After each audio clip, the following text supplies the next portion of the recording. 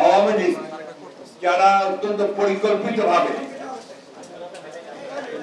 যারা অত্যন্ত পরিকল্পিত ভাবে এই দেশের গণতন্ত্রকে ধ্বংস করেছে একদলীয় শাসন ব্যবস্থা প্রতিষ্ঠার জন্য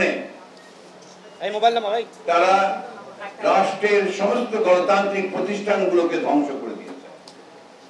আমরা আজকে গণ অধিকার পরিষদের সঙ্গে আলোচনায় অত্যন্ত সন্তুষ্ট হয়েছি খুশি হয়েছি যে তারা আমাদের সঙ্গে প্রায় সবগুলো বিষয়ে একই মত ধারণ করেন। বিশেষ করে এই সরকারের অধীনে কোনো নির্বাচন নয়, সে ব্যাপারে একমত হয়েছি। আমরা এই বিষয়ে একমত হয়েছি যে এই সরকারকে আর ক্ষমতায় থাকতে দেওয়া যায় না। কারণ এই সরকার অতি অত্যন্ত চতুরতার সঙ্গে এবং সচেতন ভাবে বাংলাদেশের আমাদের অর্জিত যে সমস্ত অর্জনগুলো ছিল আমাদের গণতন্ত্র আমাদের বাক স্বাধীনতা, আমাদের কথা বলার স্বাধীনতা, সাম্য এবং সামাজিক যে মূল্যবোধ, সেই সঙ্গে ন্যায় বিচারের যে অধিকার, এগুলো সব ধ্বংস করে দিয়েছে। এই কারণে এই সরকারকে সরানোর জন্য একটা জনগণকে সঙ্গে নিয়ে ঐক্যবদ্ধ একটা আন্দোলন এই ব্যাপারে আমরা একমত হয়েছি।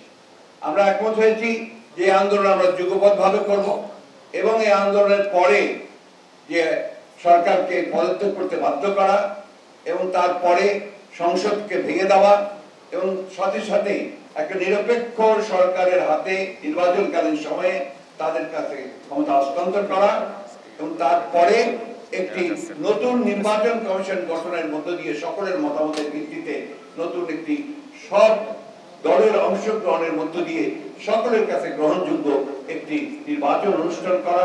তার মাধ্যমে একটি জনগণের পার্লামেন্ট তৈরি করা এবং একটি সরকার গঠন করা। যে সরকার জনগণের সত্যিকার অর্থে প্রতিনিধিত্ব করবে।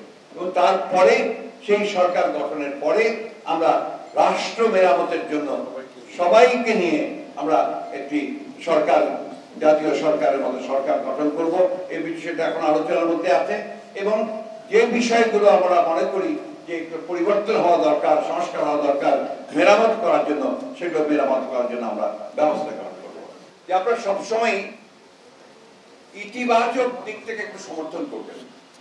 জাতির বর্তমান যে অবস্থা, সেই অবস্থায় শুধুমাত্র বিএনপি বা গণ অধিকার পরিষদ তারা লড়াই করলে কিন্তু এটা সফলতা আসবে না। আপনাদের অবস্থান থেকে আপনাদেরকে লড়াই করতে হবে, আপনাদের স্বাধীনতাকে রক্ষা করার জন্য। সিকিউরিটি অ্যাক্ট আপনাদেরকে ধ্বংস করে দিচ্ছে। বিভিন্ন নিবর্তনমূলক আইন আপনাদেরকে ধ্বংস করছে।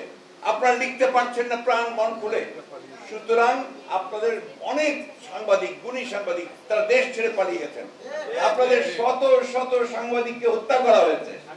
আমি আপনাদেরকে অনুরোধ করব যে এই যে লড়াই, এই লড়াই বিএনপি লড়াই না গণ অধিকার পরিষদের লড়াই না, এই লড়াই জাতির লড়াই, এই জাতির মানে বেঁচে থাকা লড়াই, অস্তিত্ব লড়াই, আপনারা সবাই এটার সঙ্গে শরীর হন।